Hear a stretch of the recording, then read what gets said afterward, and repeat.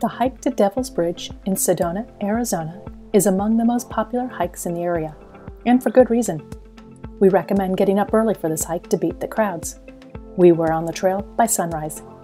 Keep your eyes peeled for wildlife.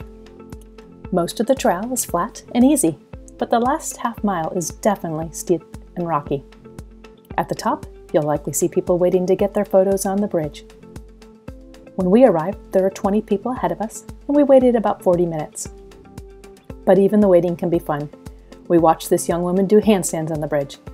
She's a former gymnast, so she knew what she was doing. Then it was finally our turn. And the photos were worth the wait. Some tips for this hike wear good hiking shoes or boots, bring water and snacks, and consider using hiking poles. You won't have this trail to yourself, but we definitely recommend it. Be sure to like this video and subscribe to our channel.